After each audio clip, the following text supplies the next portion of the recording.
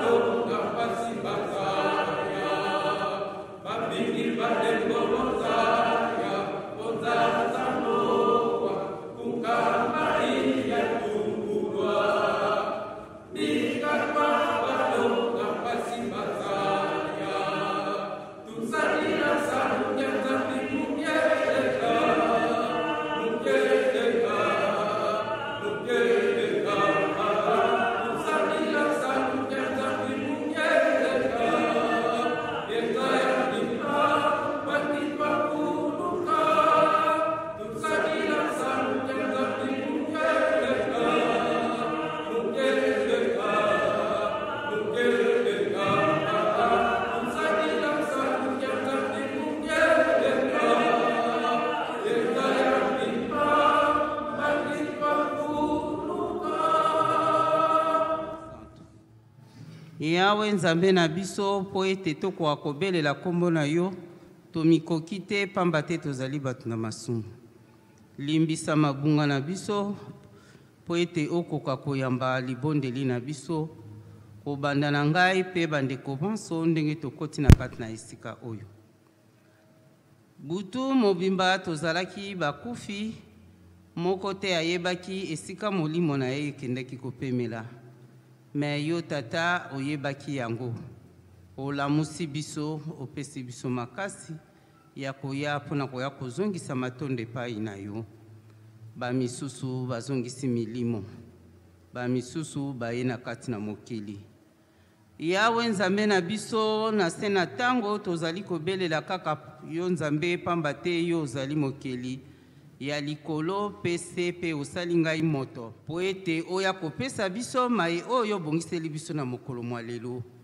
Tata atelemi liboso, azali bobele moto na masumu.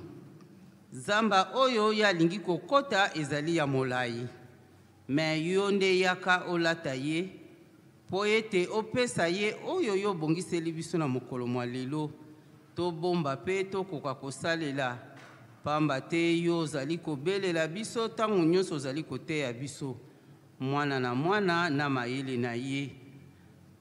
Tata Simon Kimbangu Kiangani, yokela biso mawa kaka, mpamba te tokoyaka awa mpo na koya koluka lobiko. Tokoyaka awa mpo na ntango toyoki tokoka kobongwana. Mais papa tozali batu. Soki tozali kosala ntango nyonso oyo elingi biso pamba te tolati nzoto. Yango wana longola biso bonzoto, latisa biso molimo na ntango oyo toyoka kaka oyo yo obongiseli biso na mokolo mwa yango wana Nzambe na biso dispose mitema na biso Mpo ete oyo yo okopesa biso na oyo biso tokopesa yo, okoka koyamba yango tobomba biso mpe tosalela mpo na ntango na suka tokoka kobikisama. Kimia na bolingo na bino tosengi na kombo na Tata, Mwana mpe Elimo Santu. Amen. Na komba Tata, Mwana mpe Tata Molimo Santu.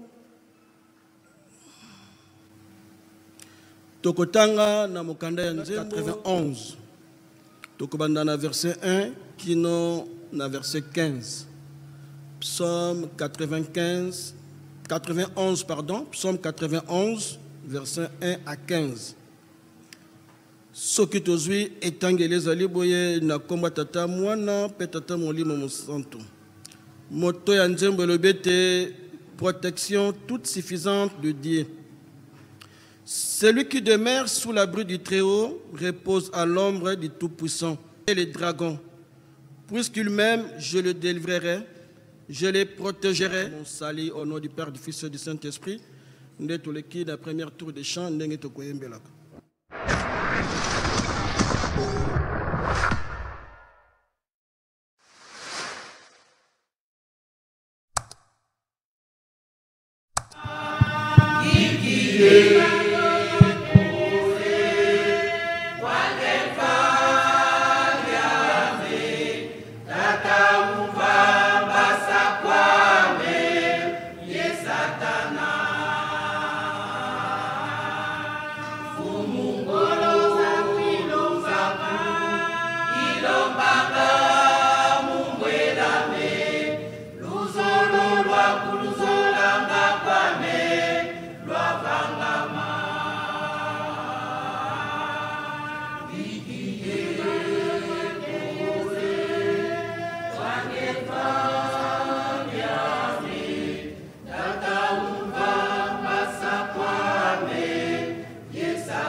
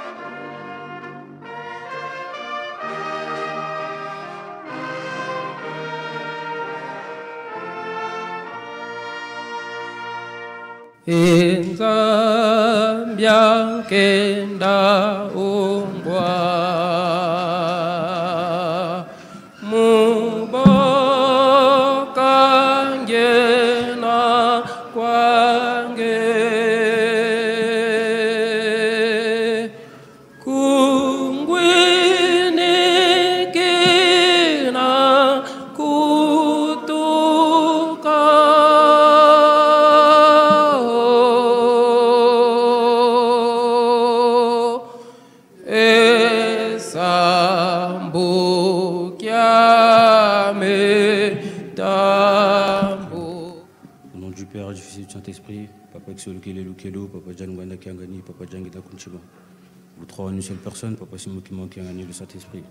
Gloire honneur à votre nom, gloire honneur à la Sainte Trinité. Avant de demander toute chose, Papa, je demande pardon. Car ici présent, nous, tes enfants, nous avons commis des choses durant toute la semaine qui n'étaient pas dignes de ton nom. Nous avons péché par l'omission, par la parole, par les actes et même par l'ignorance, Papa. Pour cela, nous demandons pardon afin que tu puisses écouter nos supplications. Papa, que te demander, à part te remercier pour toutes les grâces que tu nous donnes chaque jour. De la nuit à hier à aujourd'hui, tu nous as protégés. Tu nous as donné le souffle de vie, la force de venir au culte d'aujourd'hui, papa. Beaucoup de tes créatures et de tes enfants t'ont rejoint dans l'au-delà de la nuit à hier à aujourd'hui, non pas parce qu'ils étaient pires que nous, mais parce que tu avais décidé de les ramener auprès de toi. Toi qui es détenteur de toutes choses, qui es omnipotent, omniscient, omniprésent, que puissions te demander, papa, à part ta protection et ta bénédiction, chaque jour que tu nous fais, que tu nous donnes, papa, est une grâce. Fais en sorte que tous les jours que tu nous donnes, papa, nous puissions faire de bonnes choses et non le mal. C'est vrai que nous sommes humains, que nous sommes reliés au péché depuis le péché originel, papa. Mais chaque jour, dans tes prières ou même dans les enseignements que tu nous donnes en à papa, tu nous dis de nous rapprocher de la santé, de laisser le mal et de faire le bien. C'est pour cela, papa, nous demandons que tu puisses être avec nous que ta puissance puisse être avec les jeunes également. Nous, les jeunes qui manguistes, qui sommes censés être les exemples, des exemples, des modèles et des ponts entre le monde extérieur et ton église, papa, nous commençons même à faire des choses qui sont semblables à ceux qui sont euh, dehors, papa. Pour tout cela, nous demandons pardon. Fais en sorte, papa, que tous les enseignements spirituels que nous venons recevoir ici puissent nous fortifier et faire en sorte que nous puissions nous comporter dignement, selon tes voies et tes commandements, papa. Que nous ne puissions pas pas suivre les enseignements de dehors, qui sont mal, mais suivre ce qui appartient à toi, ce qui vient de toi, papa.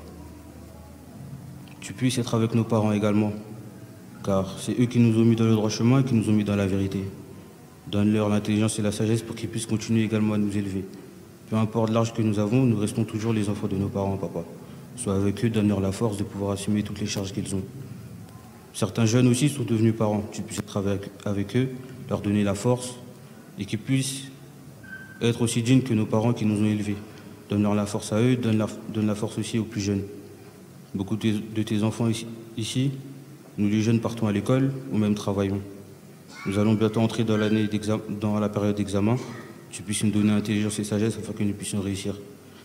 Car lorsque nous réussissons, papa, la réussite et la gloire que nous avons revient auprès de nos familles, mais également auprès de l'Église et de toi, car c'est toi qui nous donnes l'intelligence et la sagesse tu puisses être avec nous, être avec tous ceux qui cherchent une alternance, une école, tous ceux qui vont chercher aussi des écoles pour l'année prochaine, tous ceux qui vont entrer dans le milieu professionnel et dans le monde professionnel, papa. Car c'est toi qui donnes et c'est toi qui reprends. Tu puisses être devant et derrière dans tout ce que nous faisons. soit avec le monde entier, papa, tu puisses instaurer la paix dans le monde entier. Tu peux voir, papa, comme la race noire et toutes les minorités sont en opprimées dans le monde ici-bas. L'homme blanc, papa, qui est censé dominer, qui domine le monde, N'arrête pas d'écraser l'homme noir, papa. Pourtant, c'est toi qui nous as créés en premier. L'Afrique est le berceau de l'humanité, papa. Mais c'est l'homme noir qui a le plus souffert dans l'histoire du monde. Papa, que, que puissions faire, papa, pour que tu puisses, tu puisses redorer le blason de l'homme noir, papa. Sois avec le peuple congolais, afin que l'Afrique puisse connaître la paix et puisse te reconnaître comme toi, papa Simokima comme Dieu. Tu puisses mettre la paix dans nos familles, également la paix intérieure dans chacun de nous car la paix que nous avons va impacter nos familles. Cette paix-là qui sera dans nos familles va impacter l'Église. Cette paix qui sera dans l'Église, papa, va impacter les trois Congos. la paix qui sera dans les trois Congos, papa, va impacter l'Afrique. Et celle qui sera en Afrique va impacter le monde, papa. Tu puisses nous protéger et être avec nous. Que puisse, papa, te demander que tu ne sais pas. Toi qui es le garant de toutes choses, tu connais déjà le scénario de nos vies. Nous sommes acteurs de nos propres vies, papa, mais nous ne savons pas ce qu'il y a devant. C'est pour cela que je demande que tu puisses nous donner ce qu'il y a de bon pour nous et non pas ce que nous voulons. Car papa, comme le proverbe français le dit, l'homme propose mais Dieu dispose. Donne-nous selon ce que nous avons besoin et non pas ce que nous voulons. Au nom du Père.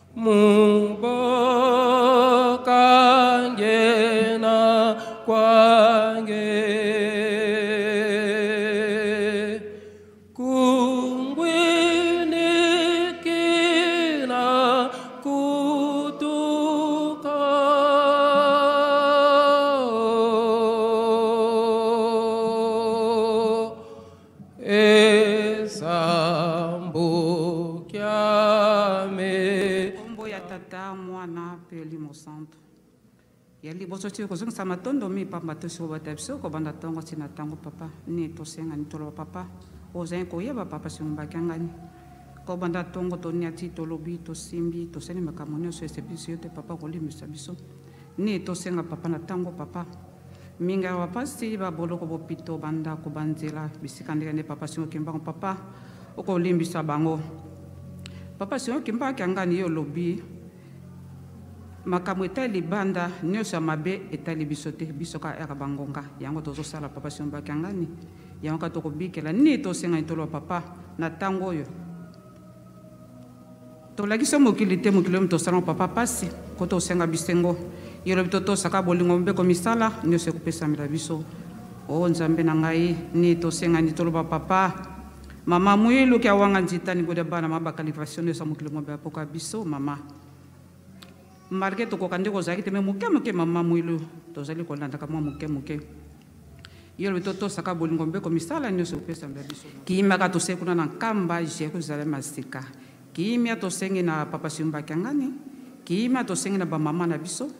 Kimia tosengi na baconseil baconseillere. Kimia tosengi kobanda ntango suka molongo Papa Simo Kimbangu Kiangani oloba mongongo otemisa bende na yo mpo mokili mama ozwa kimia na kono basatu longo ongwa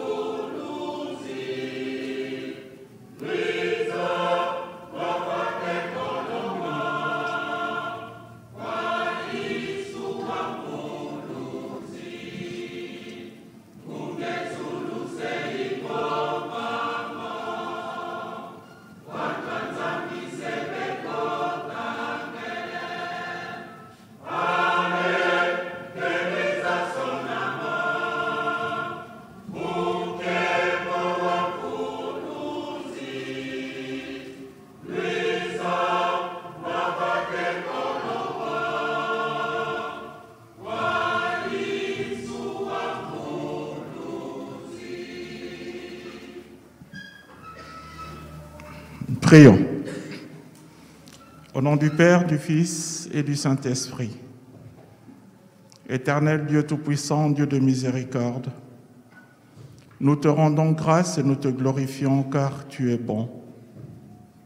Seigneur, tu as créé ce monde et tu l'as confié à nous, êtres humains, pour que nous puissions perpétuer cette tradition et cette race. Aujourd'hui, voici devant l'Église papa et maman et la progéniture que tu as bien voulu mettre au milieu de ce couple. Seigneur, ils viennent te présenter le fruit de cet amour. Nous te demandons de bien vouloir nous assister du début jusqu'à la fin de cette cérémonie. Au nom du Père, du Fils et du Saint-Esprit. Amen.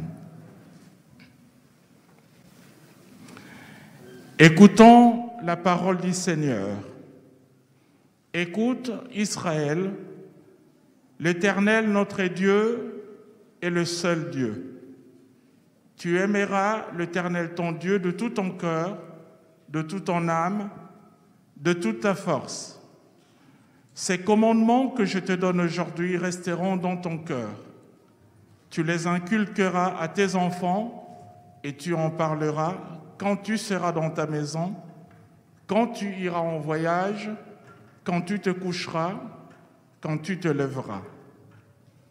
Notre Seigneur Jésus-Christ a dit, Prenez garde de ne mépriser aucun des petits-enfants, car les anges au ciel regardent en tout temps la face de mon Père.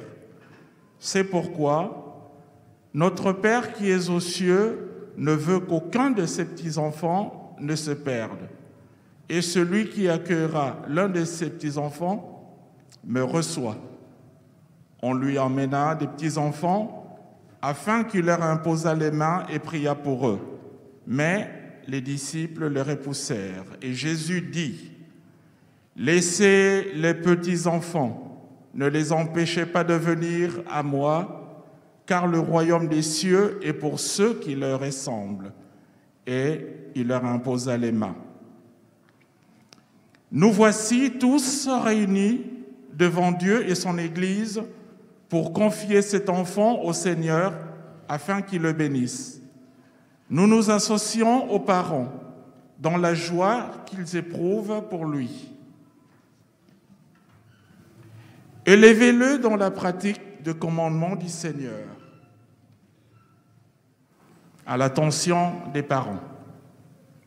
Au nom de l'Église de Jésus-Christ, je vous demande devant Dieu de me dire que vous avez réalisé que cet enfant vous a été donné par lui. En conséquence, vous avez l'obligation permanente de le conduire à Dieu par notre Seigneur Jésus-Christ afin qu'il ait la vie éternelle en lui. Élevez-le dans l'harmonie en étant pour lui des exemples par les actes de votre vie qui doivent refléter l'amour et les enseignements que vous avez reçus de Jésus-Christ. Acceptez-vous de le lever ainsi Oui. Oui. Par la puissance de Dieu le Père et le Saint-Esprit, acceptez-vous vraiment que vous allez élever cet enfant selon la volonté du Seigneur et changer vos habitudes et votre comportement dans votre foyer afin qu'il grandisse dans la voie de notre Seigneur Jésus-Christ. Acceptez-vous cela Oui. Oui.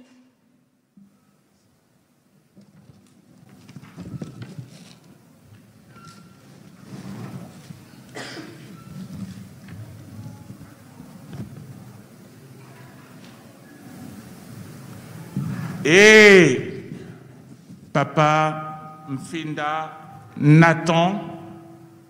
Jelani Faustino. Je te reçois dans l'Église de Jésus-Christ le Sauveur et le bon berger, au nom du Père, du Fils et du Saint-Esprit. Que l'Éternel te bénisse et qu'il te garde. Que l'Éternel fasse luire sa face sur toi et qu'il t'accorde sa grâce. Que l'Éternel tourne sa face vers toi et qu'il te donne la paix.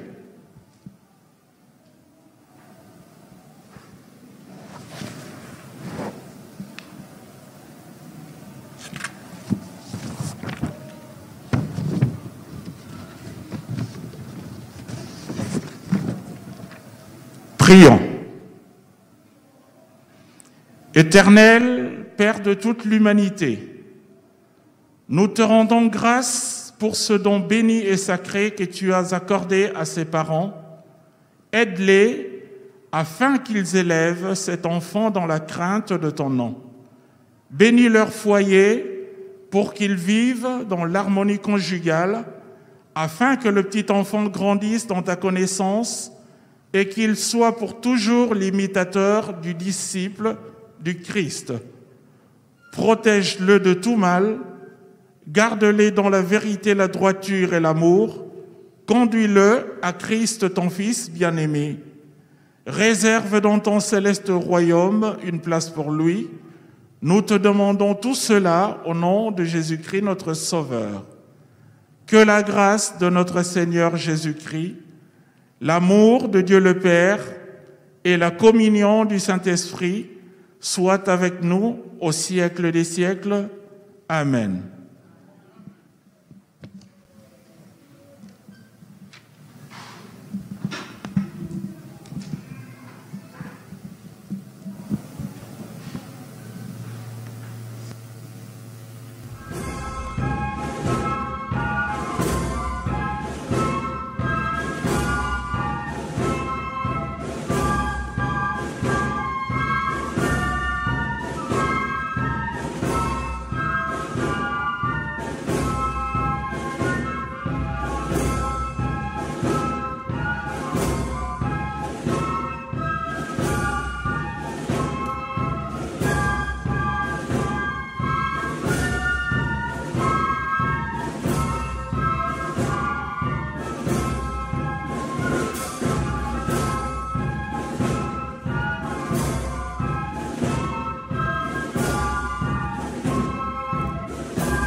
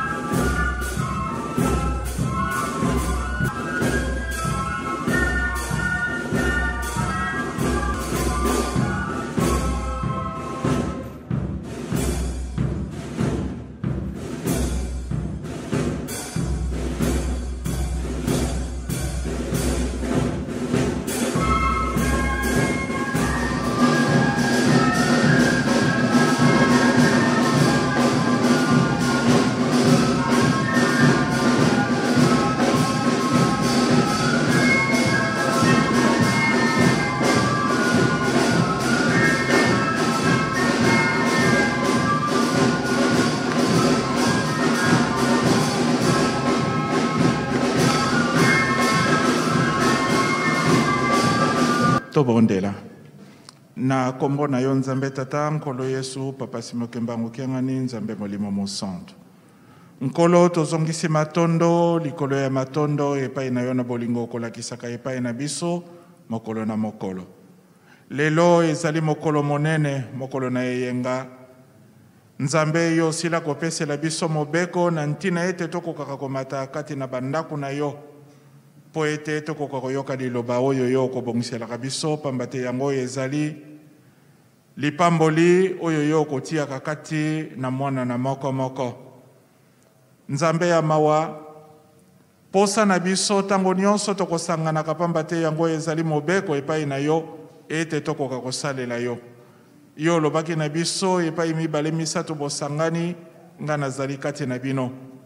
Pe obakiseli biso, Na ntango nyonso bokosanganaka na ntina ya likambo ya Tata Nzambe, boyeba kobongisa eloko mpo na kotonga lingomba. Yango wana, Tata, omoni batata selo mpe bamama selo basili kotambola katikati na bana na yo na ntina ya kozwa meya-meya oyo mwana moko moko asili kobongisa. Tata, oyo etiami kati na sani, yo oyebi banzela yango euti.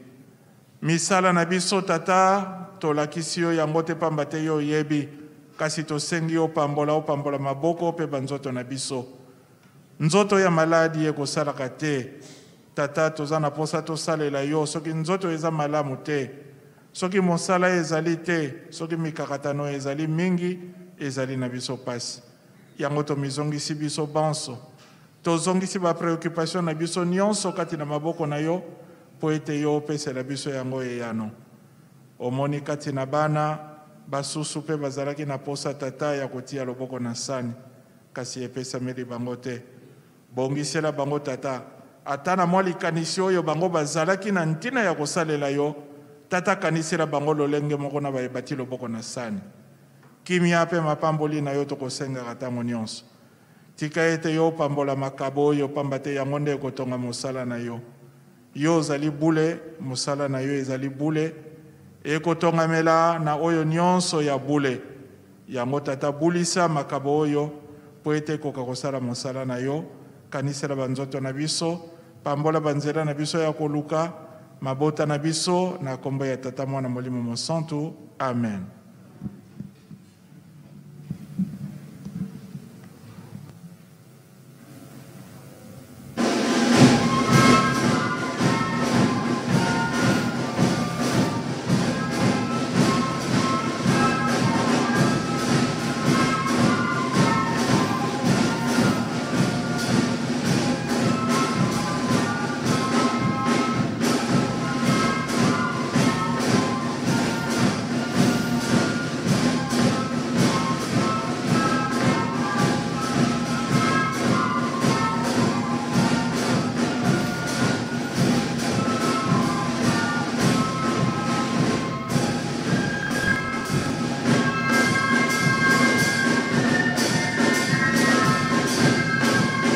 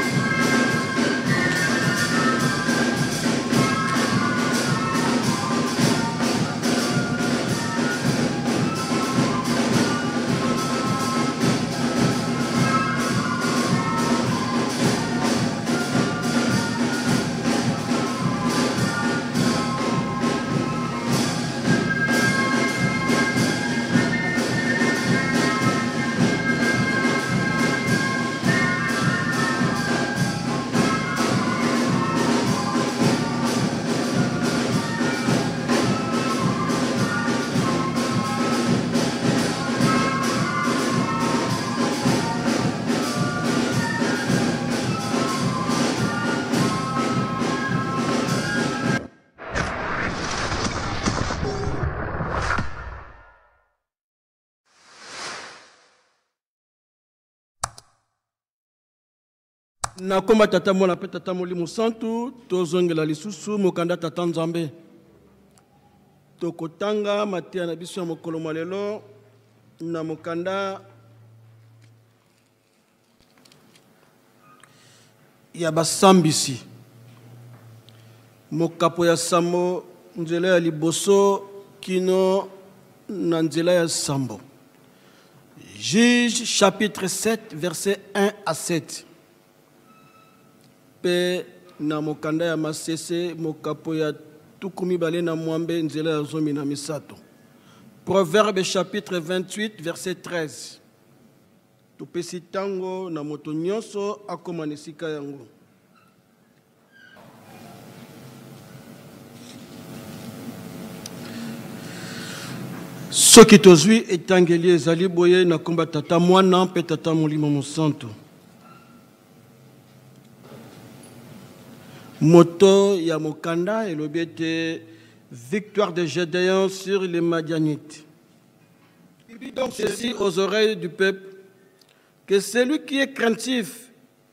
Et qui a peur. Proverbe 28, 13. Celui qui cache ses transgressions ne prospère point, mais celui qui les avoue et les délaisse obtient miséricorde au nom du Père, du Fils et du Saint-Esprit. Tout bon là.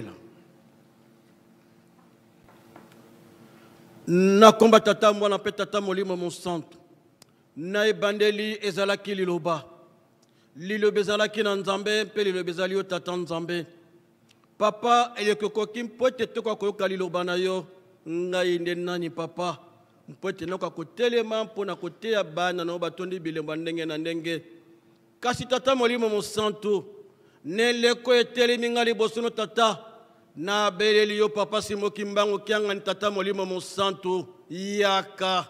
Lata ngai mwana no papa avec kisolokele Charles pamba te na eleko etelemi ngai liboso na yo bana na yo mingi bazali ya papa miso ya ndenge na ndenge ekotala ngai makanisi ya ndenge na ndenge papa ekokanisama na ntina na ngai kasi papa molimo mosantu na mitiko maboko na yo na ebandeli ya mateya kino nsuka na yango nakomba tata mwana mpe tata molimo mosantu amen na komba tata mwana mpe tata molimo mosantu totangaki mateya na biso na mokanda ya psaume tokomi 16h38 30, 38 tokowela mbangu tobandaki mateya na biso na mokanda ya nzembo na psaume 91 moto ya nzembo elobi ete tata nzambe ebombamelo ya solo tata nzambe ekimelo ya solo batata na bamama nzembo oyo totangi ezali libondeli moko ya libondeli oyo ezalaki koyemba bana ya israele mpo na kolakisa ete apart tata nzambe bazalaki na ekimelo mosusu te apart tata nzambe bazalaki na ebombamelo mosusu te mpamba te na mokanda elobi ete oyo akokimaka epai ya tata nzambe oyo akoponaka ebombelo na epai ya tata nzambe tata nzambe akobombaka ye akobatelaka ye atako bayini na ye bazali na makasi ya lolenge nini bakolonga ye te mpamba te aponi tata nzambe ebombamelo na ye batata na bamama lelo nzembo oyo eye epai na ngai na yo tata mpe mama kimbangiste bandeko na ngai tolobi ete ezali libondeli ya moto ya poni ekimelo na ye na tata nzambe e biso mpe na mokolo mwa lelo eloko mosusu papa simo kimbangu kiangani azali kosenga biso te soki mabondeli te Liloba na ye ya mikolo na mikolo. Bozala makasi na mabondeli. Ezala mabondeli ya bangonga. Ezala soirée spirituelle. Bozala makasi na mabondeli. Pamba te mokili ezali ya koningana. Pamba te Satana azali ya kotelema. Surtout na sando tokomi batata na bamama toyebi. Tango ezali koleka te. okomona message eyeli biso na papa secrétaire parotial famille songolo ndeko songolo bakufeli bipai na bipai sango mosusu tozali biso kozwa te bobele sango ya liwa liloba tata molimo mosantu mokili ezali ya koningana satana azali ya kotelema batata na bamama Nani yo poni ekimelo? Nani yo poni ebombamelo? Pamba te etumba ezali. Kasi etumba ezali ngai na yo kobunda na mokolo mwa lelo ezali ya nzoto te. Ezali etumba ya molimo. Pamba te Na ntango ya kala, kosala moto mabe, kolukela moto liwa to kobwakela moto mpasi ya maladi ezalaki likambo ya kobanga to likambo ya kindoki ezalaki likambo ya fami kasi na mokolo mwa lelo kosala moto mabe kolukela moto liwa kobwakela moto mpasi ya maladi to koloka moto eza lisusu likambo ya kobanga te tozali koyoka masolo a ndeko songolo na mboka atongaki kasi batyeli ye poison a ndeko songolo asalaki likambo boye kasi batelemeli ye batata na bamama ndenge tolobi kosala moto mabe na ntango ya kala ezalaki kobanga nalukela moto liwa nabwakela moto maladi te kasi na lelo oyo eza lisusu likambo ya kobanga te papa nkulutu alobaki mikolo ekoya bafrontiere ekozala te tomoni yango na moi kasi satana mpe na butua ye mpe alongoli bafrontiere na butu okomona moto ya misala mabe awuti na mbandaka akei na ye mpe na bakongo frontiere ezali te batata na bamama ndenge tolobi na mokolo mwa lelo bandeko na ngai mpo na kosala moto mabe ezali lisusu likambo ya kobanga te na fami na yo bakoki mpe kosala yo mabe na fami na bandeko to baninga bakoki kolukela yo mpe liwa to mpasi ya maladi yango bandeko na ngai eloko mosusu ekoki kolongisa ngai na yo te soki mabondeli te biso tokokɔtaka bandako mibale misato mine te ekimelo na biso ezali bobele na nkamba kuna nde ezali ekimelo na biso kuna nde ezali ebombamelo na biso batata na bamama Mama na likambo na mokanda ya nzembo toyebaka ete etumba ezali meme na kati ya lingomba moto akoki kolukela yo mpe mpasi ya liwa moto akoki kolukela yo mpe mpasi ya maladi meme na kati ya lingomba me tobengami bandimi bandeko na ngai ndenge tolobi moto akomemela yo mpasi akozala kaka obotami na ye te Na yango tozala makasi na mabondeli. Ndeko moko na participaka mpe na palabre yango. Bazalaki baninga, famille te.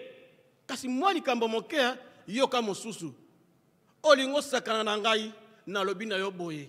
Soki na butu nazwi yo te, kasi na moya eh, ata na bilei ata na mai ya komela to masanga nakozwa yo me bazalaki famille te batata na bamama likambo oyo epesaki mpasi na kati ya mboka liloba malobo tokobimisaka batata na bamama ekoki komema mpe mpasi soki na butu nazwi yo te ata na moi nakozwa yo na bilei to na komela Yango wana bandeko na ngai, libondeli ezali nini?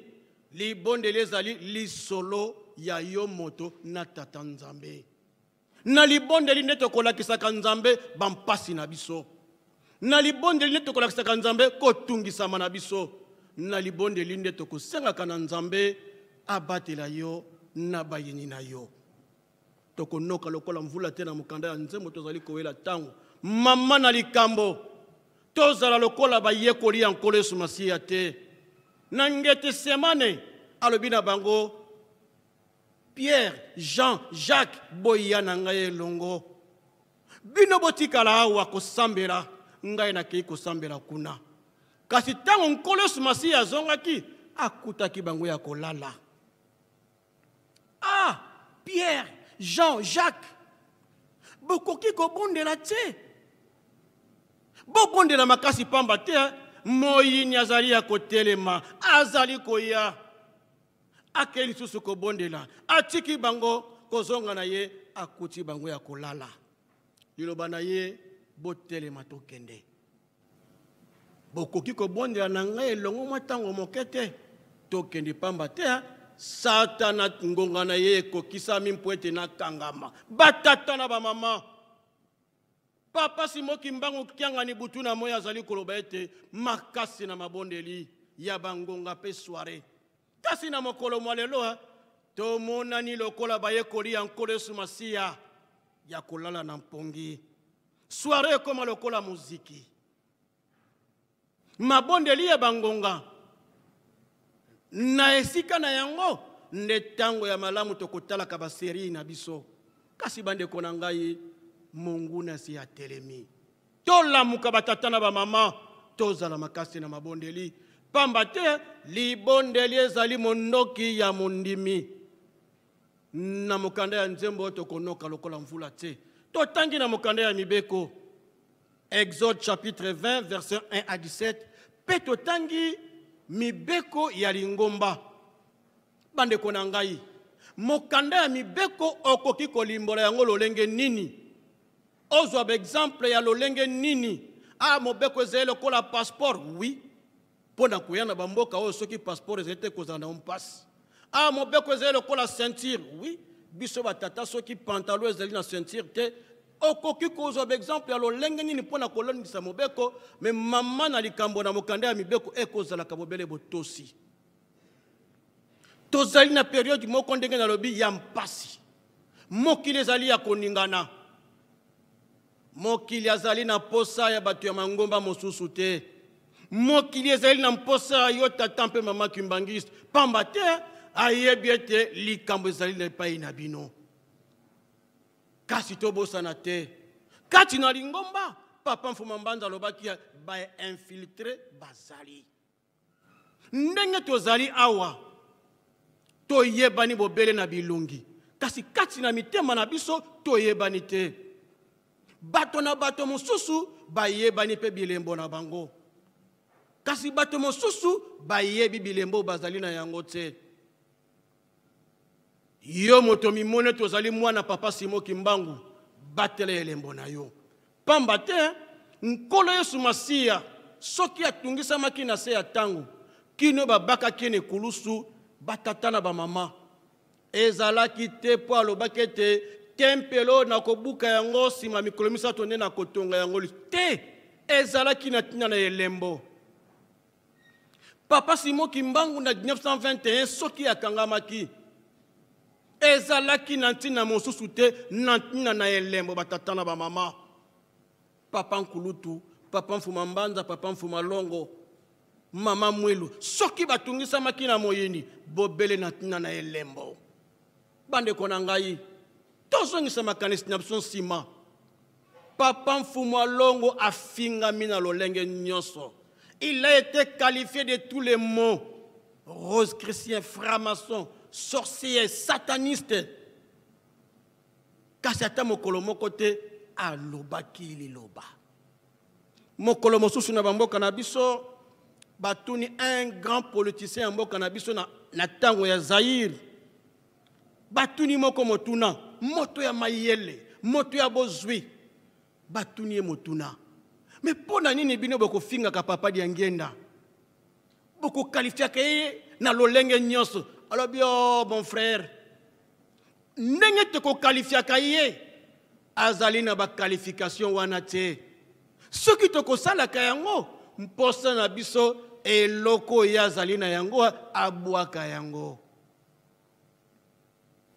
soki tokofingaka ye magicien rose christin framason sataniste ezali misala na ye te mposa na biso bobele abwaka eloko oyo azali na yango mpo ete il est dangereux bisika biso tokosanganaka meme na se ya mai akoyaka kopanza biso yango wa eloko eye azali na yango mposa na biso akwesa yango batata na bamama lelo ekomi epai na ngai na yo mingi bakotuka yo mingi okozala qualifie de tous les mots ye aza na misala ye hmm, oyebi ye tata mama batela elembo na yo batela elembo no tata mpe mama kimbanguiste na ntango ya kala moto abundisaki lingomba oyo awutaki mosika moto abundisaki bandimi balandaki papa simo kimbangu awutaki mosika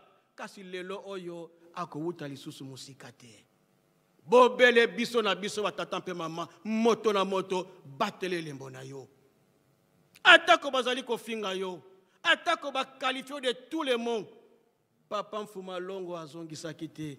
Kasi liloba ya bato wana mposa na bango susi na biso akwesa eloko oyo azali na yango pamba te il est dangereux pour nous libondeli ya papa mfuma mbanza na matadi Papa Nkulutu, Papa Leki, boya tokata mokano pamba te soki tokopusa lisusu mikolo molai na bana na biso oyo totya bilembo bakolemba pamba te satana azalaki libanda ya lopango kasi na lelo oyo satana akoti na kati ya lopango batata na bamama moto na moto abatela elembo na ye moto oyo azali na maki na maboko akoswanaka te akobundaka te mposa na ye akomisa maki na ye a destination lelo nga na yo moto na moto amiyebi eske nazali mwana papa simo kimbangu kiangani to te mpo na koyeba batata na bamama ekosenga nango te olala na kinlongo te ekosenga na yango te olala na mai ya nsima te kamata mibeko ya lingomba kamata mibeko ya moïse tya liboso na yo okomimona okomitala okomiyeba est nazili mwana papa simo kimbangu kiangani to te bandeko na ngai totangi mpe mibeko ya lingomba baninga na ngai masumu mosusu tokosalaka oyo tokotiaka kati na bomoi na biso e na mokolo masuka ekozala na biso mpasi mpo na kose defendre liboso ya tata nzambe masumu ya ofele lisumu ya ofele batata na bamama eske na mokolo ma lelo yo mama kimbangiste bakoki koteya yo ete kolata pantalo ezali lisumu est ce que bakoki kotia yo mama kimbangisi na mokolo ma lelo surtout na baperiode oyo tozali kotia meshe na motu to baplante ezali mabe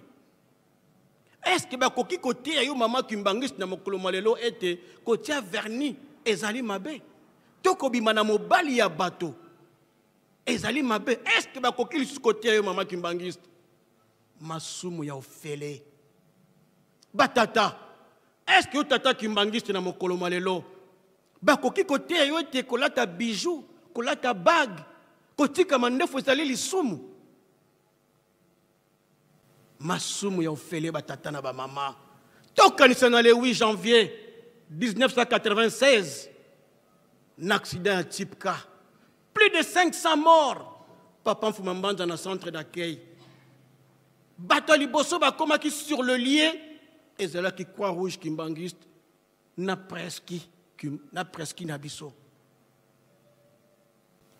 kozonga na bango na centre d'accueil papa mfuma mbanza afandi ah papa mawa komona bibembe ya lolenge wana papa bana na yo bakimbangiste mpe bakufi liloba ya papa mfuma mbanza balekeli wapi namoni bango te masumu ya ofele eske na wenze epai bakendaki bakendaki kosala ekobo te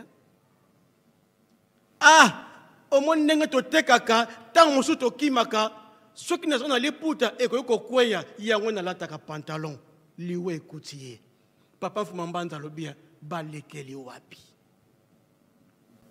ah ngai soki nalataka bage to bagrumete na ngai eza nango ya kisi te nalataka yango bobele mpo na fiere mpo na koambelire nzoto na ngai liwa ekutaki ye na mokolo yango papa mfuma mbanza alobi eh, balekeli wapi masumu ya ofele batata na bamama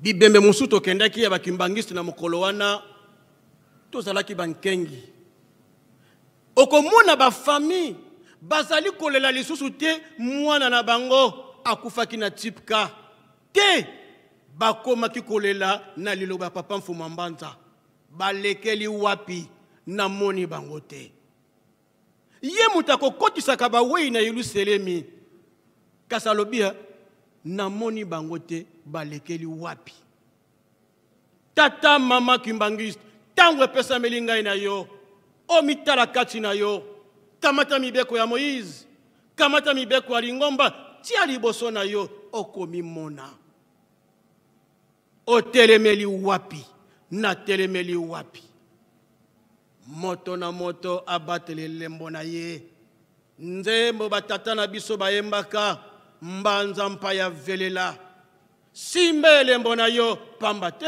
soki obungisi yango na yelusalemi ya sika okokota te toleki na mokanda ya mibeko tozali kowela ntango totangi na mokanda ya basambisi mokapo ya sambo na nzela ya liboso kino sambo mpe na mokanda ya masese mokapo tuku mibale na mwambe nzela ya zomi na misato teme ya mateya na biso luvambuku lufinamene bokabwani batata na bamama ebelemi le choix ntango ya koponama batata na bamama ebelemi bana ya israele kobima na bango na egypte kino kokɔta na mboka elaka meme ntango bakɔtaki vie de vie na bango ya chaque jour ezalaki bobele bitumba sur bitumba vi na bango ya mikolo na mikolo bisika binso ezalaki bango kotia lokolo bamabele wana bato bazalaki esengelaki na bango kobunda mpo na kokonkerire bamabele nyonso ezalaki okipe na bato oyo bango bakutaki bitumba ya bitumba kasi na ntango ya mosambisi ya gedeon tata nzambe alobi na gedeon ozali kokende etumba me bato oyo ozali na bango bazali ebele soki okei na bango balongi bakoloba ete makasi na biso moko nde elongisi biso kasi nakoponela yo banani oyo kokende na bango le choix boponami loba na bango ete baoyo bazali ya kobongama te baoyo bazali na kobanga moto na moto azonga na ndako na ye 22 000 hommes bazongaki batikalaki 10 000 tata nzambe alobi na moïse Mo, alobi na gedeon gedeon 10 000 ezali kaka ebele cette fois-ci ngai moko nakoponela yo banani oyo kokende na bango boponami ebelemi mema bango na mai ye nyonso akomela mai lokola mbwa tokomonaka mbwa ntango azali komela mai akomelaka na ekenge soki ameli ameli azali kotala de part et d'autre ntango mosusu ennemi azali me moto akomelaka mai na kimia akomona fandi ah, ah. oyo banso bakomela lolenge mbwa akomelaka nde bawana okokende na bango etumba batata na bamama sur 10 000 personnes batikalaki bobele 300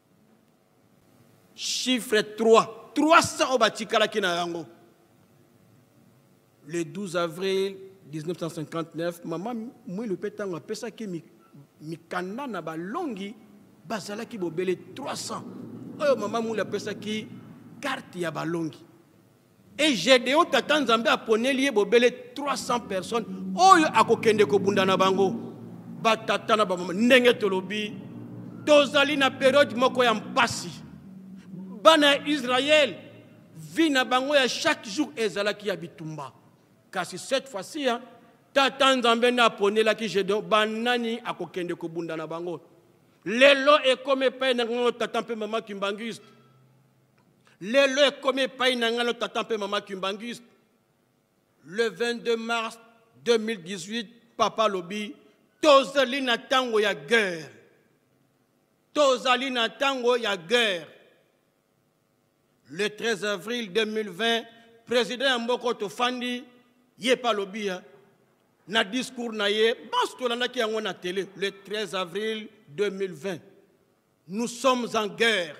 Siffre na discours na ye. Nous sommes en guerre contre l'ennemi invisible. Kasi papa Mfumalongo alobaka likambo. Mikolo mikoya etikali na etumba moko oyo tata Molimo Santo akobunda. Yango eleki bitumba nyonso ebundama kala ya 18 14 40 45 60 65 Etumba oyo ya suka ezali etumba oyo e, tata molimo mosantu akokanga satana mpe misala na ye nyonso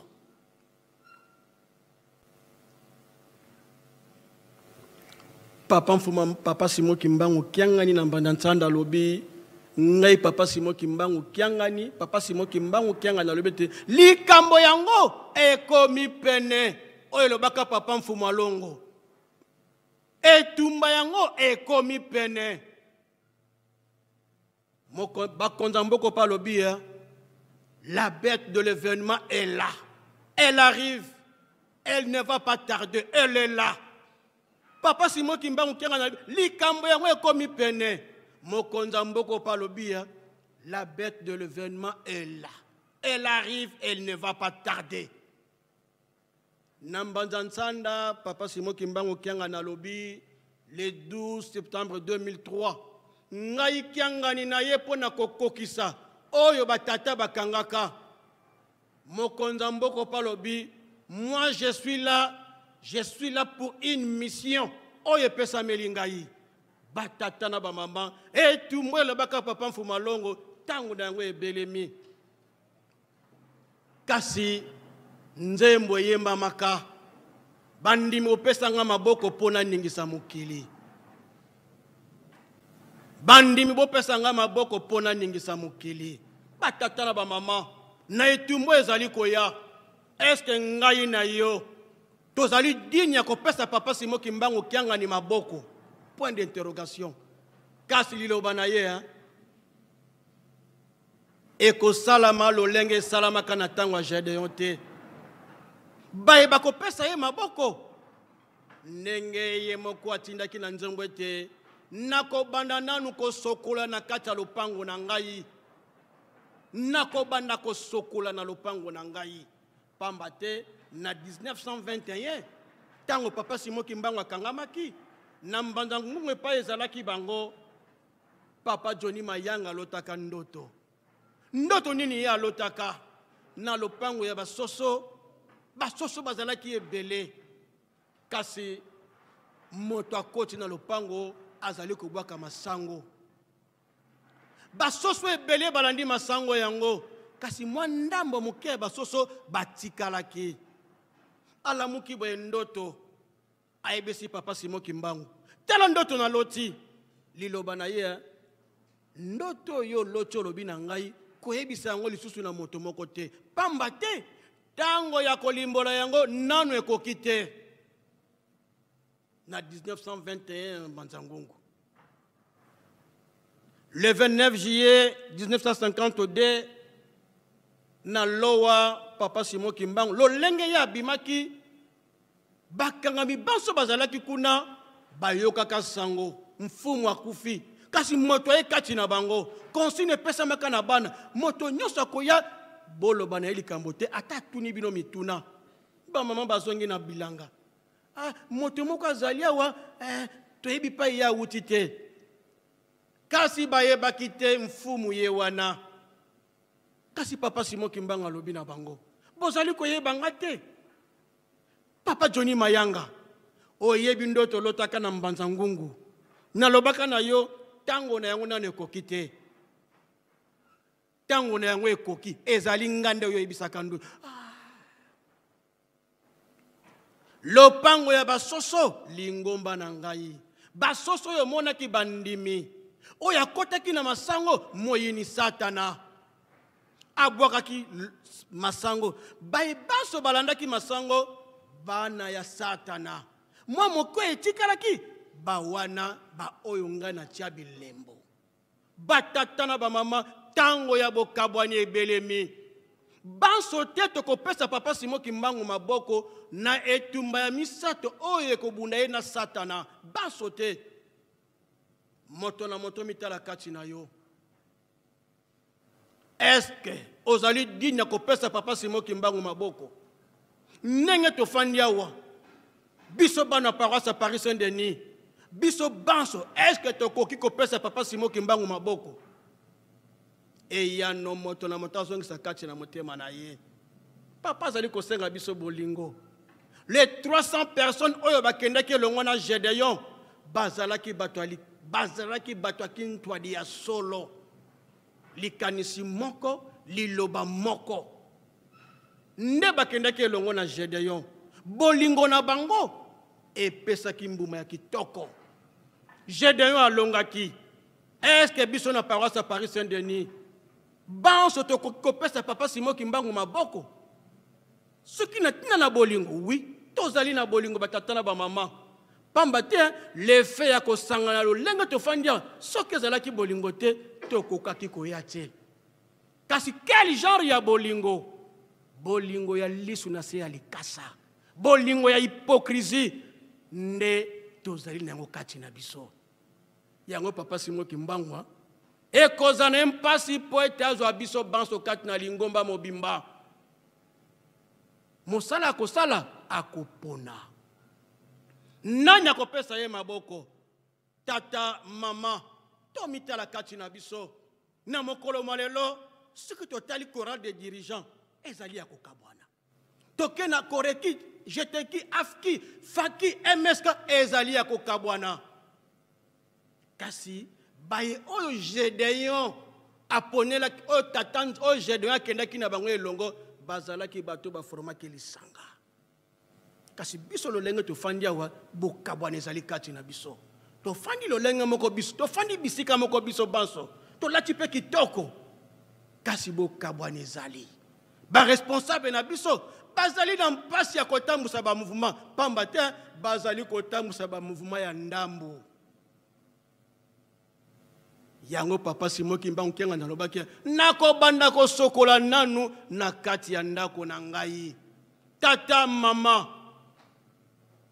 Mokonzi ya mboka oyo alobi ya la bête de l'événement est là.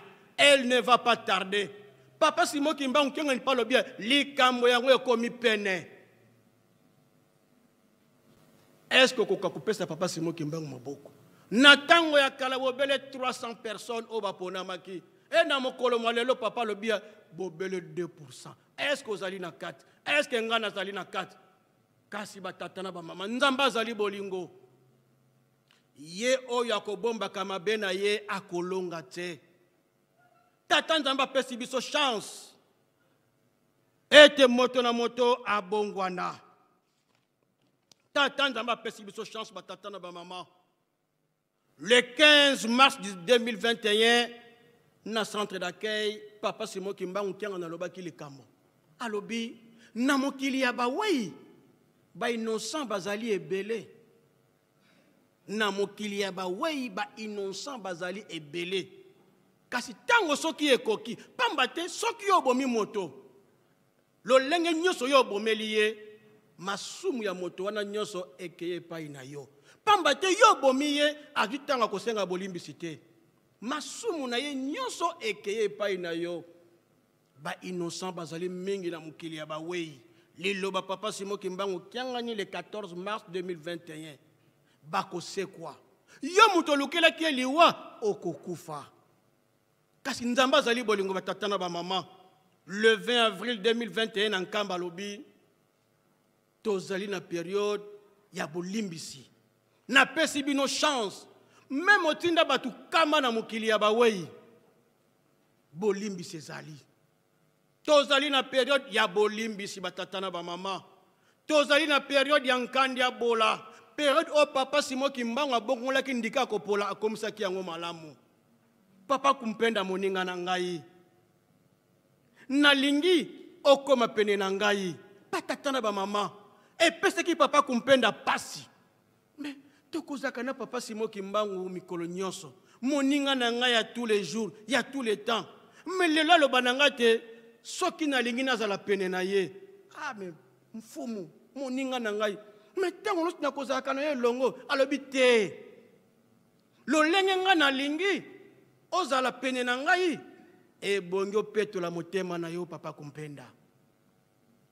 papa kumpenda afandi alobi mfumu nandimi kopetola motema na ngai elobi na yango papa simo kimbangu amemi papa kumpenda na mai basokoli elongo alobi a ah, moninga na ngai kumpenda kobanda lelo likambo ya ndika ya kopola ekomaki malamu ekokisami sine de purification batata na bamama Tata Nzambe azali kosenga te moto na moto ase purifier.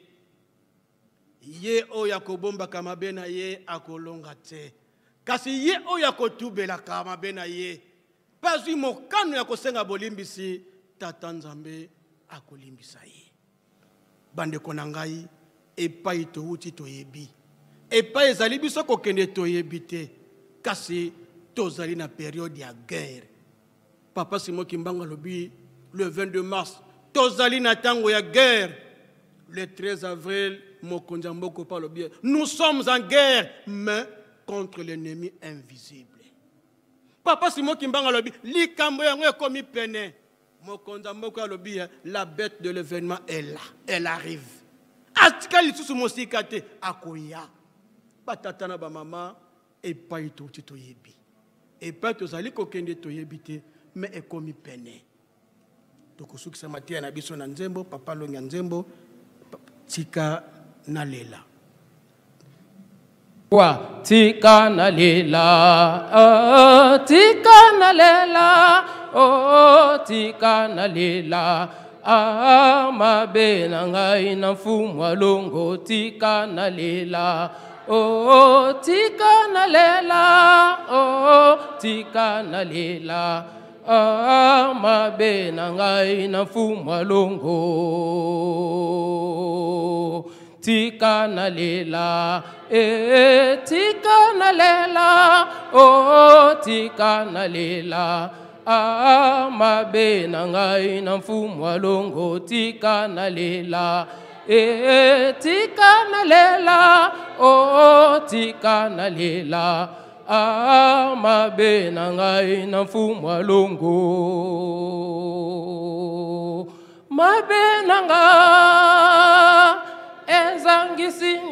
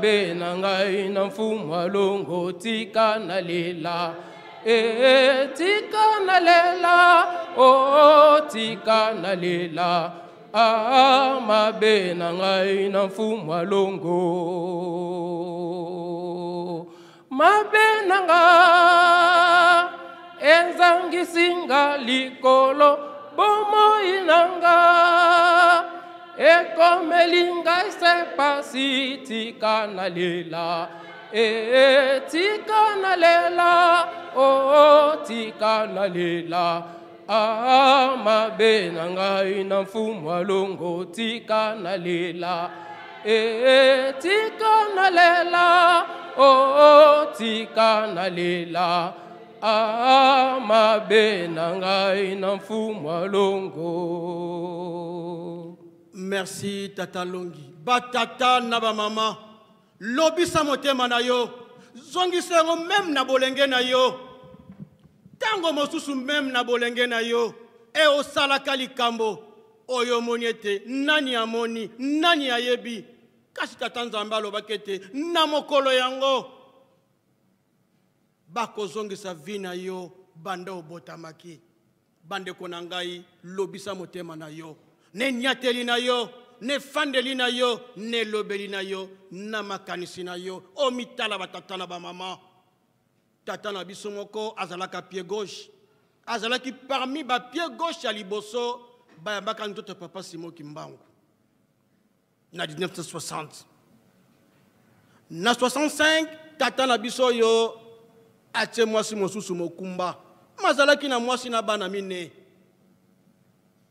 kobanda 1965 tata na biso oyo atikalaka kolata lisusu teni te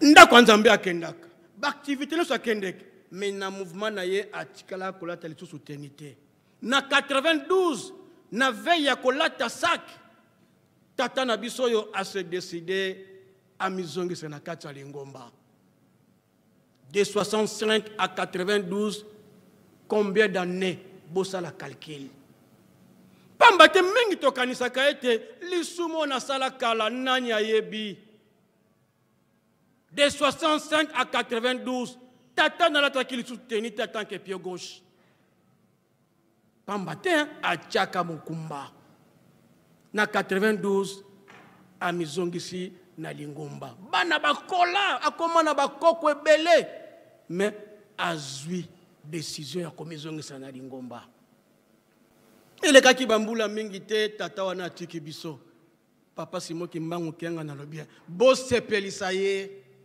atindi bakorale atindi fliki bosepelisa tata na biso oyo pamba te il se ressaisi lelo tata mpe mama eye epai na ngai na yo zonga meme na bolenge na yo nini yo osalaka kotala bamvula ebele te tata na biso oyo 27 ans après mwa moke tozwi ekoki boye na koma tata mwana mpe tata molimo mosanto amen botelema tobondela tobondela na komba tata mwana mpe tata molimo santo tata na biso oza na likolo tika kombo na ezala mosanto tika bokona eya tika mokano na esama na sepela moko na likolo pesa biso lelo belai na biso ya mokolo na mokolo limbisa biso nyongo na biso mpela moko biso tokolimbisaka bango nyongo na biso kotika biso na komekama te kasi ebikisa biso na mabe po ete ezali bokonzi nguya mpe nkembo lobiko na lobiko na komba tata mwana mpe tata molimo mosantu amen nzembo bato banso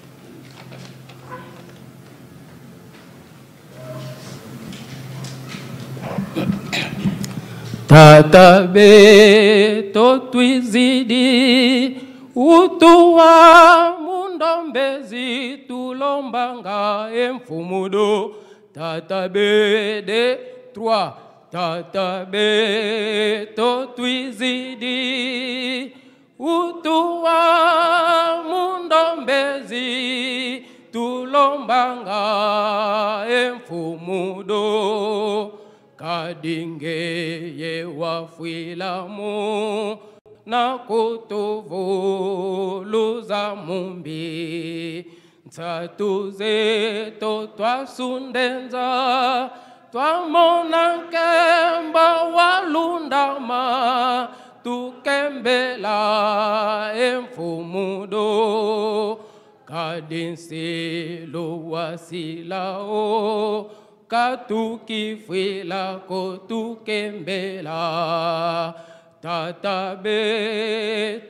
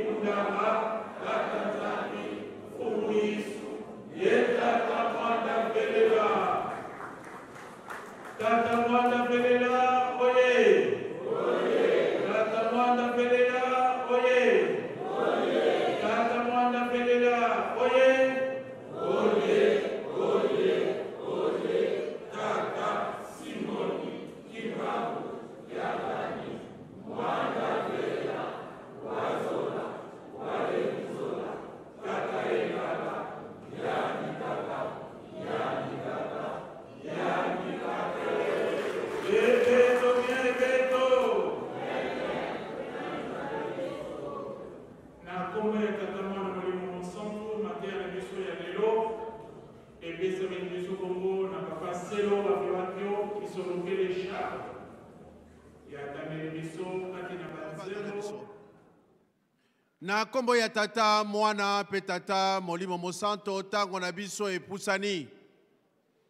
Lelo ezali mokolo na yenga, tozali na esengo makasi ya koyamba baninga na biso na kati na Ratelki, na kati na Jejeki pe baye bauti na babisika ebele. Tango bokozonga na kati na baparoise na bino, bomema mbote ya biso baninga na bino na kati na paroisse Kimbangis ya Paris Saint-Denis. Batata na bamama biso banso tolandi mateya. ntango tokoyaka na kati na esika oyo ekozalaka mpo toya kozwa mateya oyo ekolendisa kondima na biso papa simon kimbangu kiangani alingi biso ye apona biso ndenge ekomama na kati na 1 pierre 2 de 8 à 10 biso tozali baponami Tozali race elu oyo Nzambe apona, oyo ye apesa elembo na ye ya monene. Donc euh, lelo yo papa diacre alesi biso na ndenge ya kitoko batata na bamama toyika mpiko mpo ete okoka kolonga. Soki mabe ezali totika yango, totubela ba reverend pasteur bazali, soiree ezali, tolongola ya mabe totia ya malamu, bolingo yango ekozipaka mabe ntango nyonso. soki ngai na yo toyoki nde tobiki me soki ngai na yo toyoki te nde toluki liwa tata mama presence na ndako ya nzambe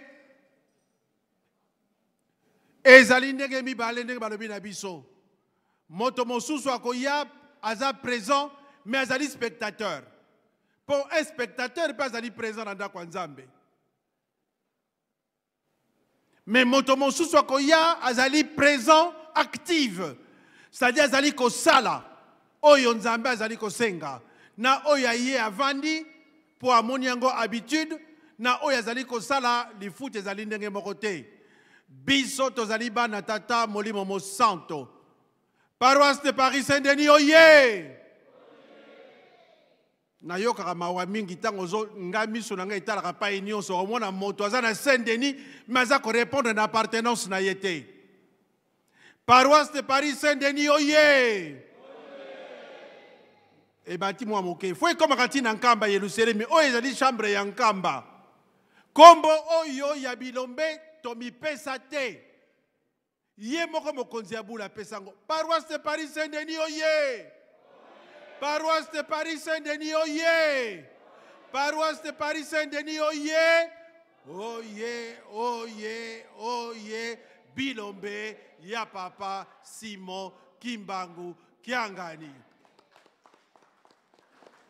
tosalela bolingo mibeko misala mpo présence na biso ezala active efuta yango wana batata na bamama tokende mosika te mateya oyo tozwi tomema yango na kati na motema tosalela yango mpo na lobiko na biso wana nde ezalaki bamessage oyo tozalaki na yango ndenge reverend Pasteur Wankana, papa secrétaire alobi, Nsinsani oyo elekaki tosalaki par mouvement ezalaki dirigeant na jeteki tomonaki te dirigeant moto agagnaki tolobaki dimanche eleki tokopesa bacoupe donc tokobanda liboso na dirigeant dirigeant oye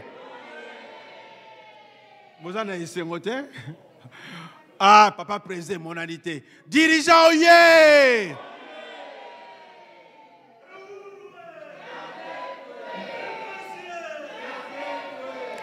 tokobenga papa responsable ya dirigeant mpo ete aya kozwa kupi ya dirigeant dirigeant oye Tita na micro kuna, iya, wala, memela,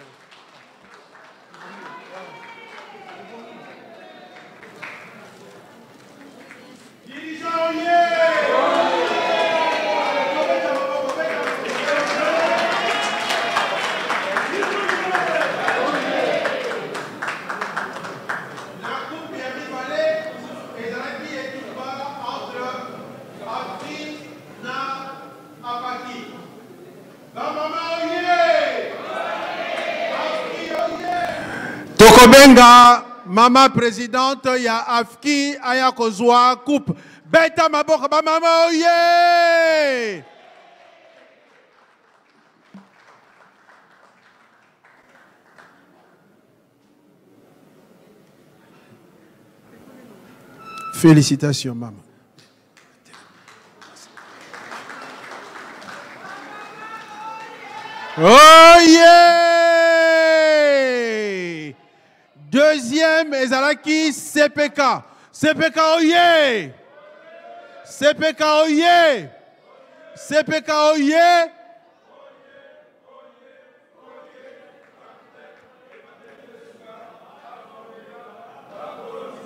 tobengi papa président ya kozwa coupe tobetaka maboko beta maboko beta maboko beta maboko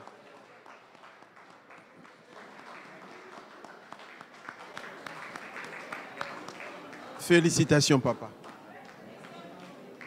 nde sikoyo tokomi na likolo Beta maboko, beta maboko, beta maboko. Nde sikoyo tokomi na likolo. Nsinsen tosalaki Faki moto aganiaki. Yango wana Faki ntango azalaka kozwa coupe na na bashampomi mpo ete yango bosabre yango. Faki oye! Faki oye! Faki oye!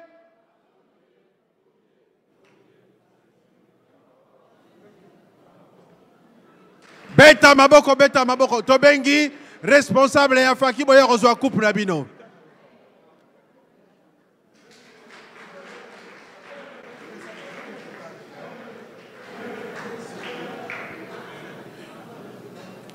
tobetaka ata maboko vraiment tobetaka maboko faki alakisaki makasi na ye mokolo wana Ezalaki etumba makasi.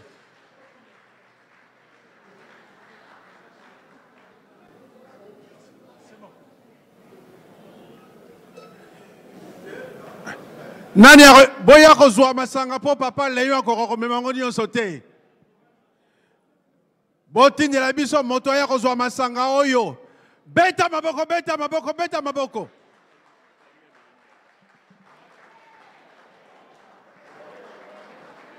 Wana c'est la force montante. Faki oye!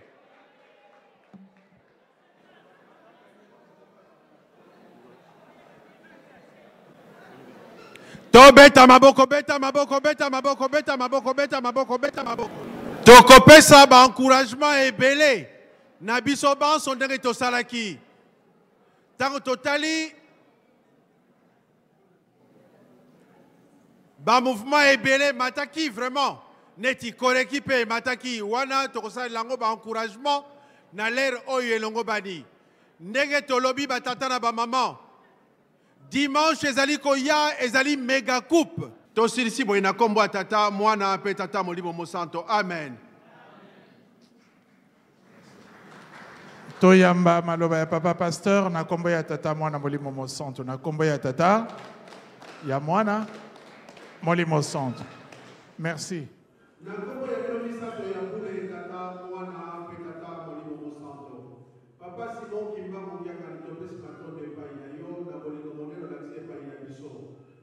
Mpo ete kolala kolamuka ezali habitude te, ndenge oteyi biso ezali misericorde ya yo Nzambe epai ya biso bana na yo. Papa banda toyaki na kati na esika oyo na 13 heures, 13 heures 30, ti na tango oyo tovandi na tina na mosala na yo, mpo ete yo oponaki biso banda likolo mpo tosala mosala na yo. Papa soki na kovanda na biso tosali likambo ya kitoko to esepelisi yo te, ndimisa biso. Tika ete mateya oyo yo opesi biso ezala na kati na mitema na biso mpe tosala mpo te tokoka kolonga. Tomitiki na maboko na yo, Nzambe na biso, kotika biso te. Mersi na ndenge osangisi biso na baninga bauti na baparoise mosusu mpe biso moko tomipesi epai na yo. Zala na biso, sunga biso, bomba biso na mposa mobimba mpo ete mokolo na yenga toya tosala mosala na yo, tosanjola nkombo na yo. Tika nkombo ya bino misato ya bule yango ebenga na kati na biso mpe batela biso na nkombo ya Tata, Mwana, mpe Tata Molimo Mosanto. Amen. Tozonga malamu.